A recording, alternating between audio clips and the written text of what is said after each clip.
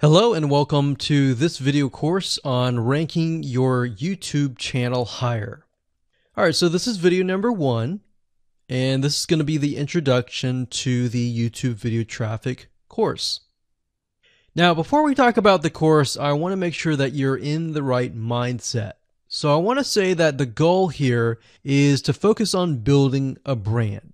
If you can start thinking that way, you're going to have a long-term strategy which will actually help you not only in the YouTube traffic and getting ranked on YouTube and getting natural organic traffic and all of that, but it'll also help you in many other ways as well.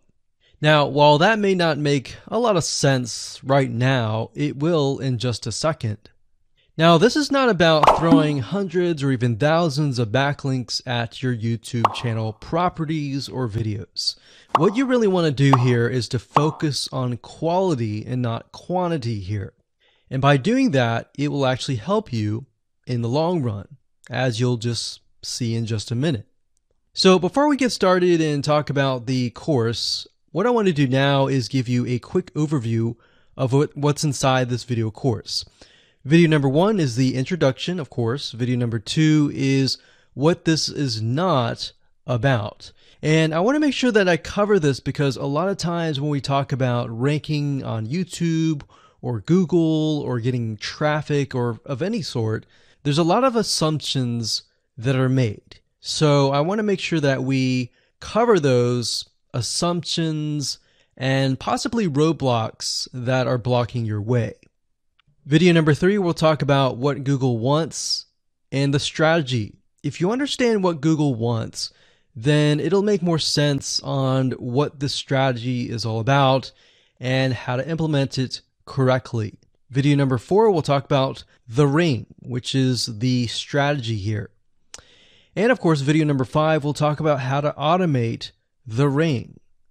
Video number six, we'll talk about account creation and video number seven, we'll talk about how to outsource the account creation and the very tedious process of building the ring. And of course, video number eight, we'll talk about testing.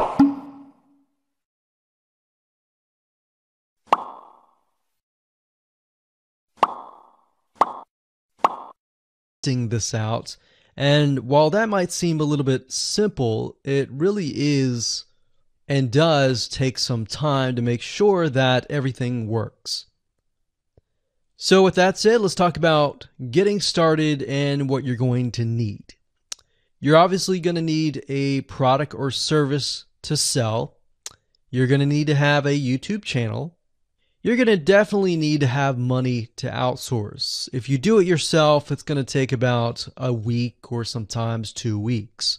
But once it's set up and is good to go, then everything is automated.